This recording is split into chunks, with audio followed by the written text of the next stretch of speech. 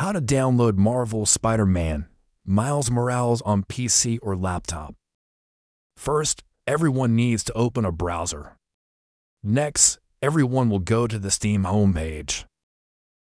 Then, everyone selects Install Steam. Select Install Steam.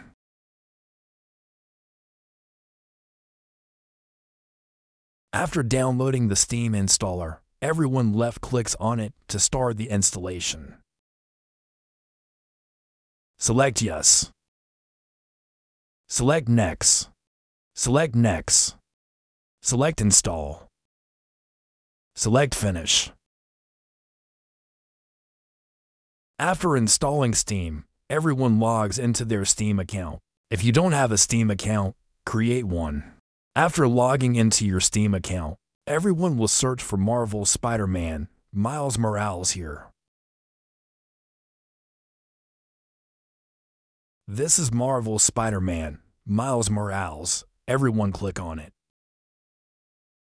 To download Marvel Spider-Man, Miles Morales, we need to purchase the game. Select Add to Cart. Select View My Cart. Select Continue to Payment. We will use a Visa or MasterCard to purchase the game. After purchasing the game, it will be in the library section.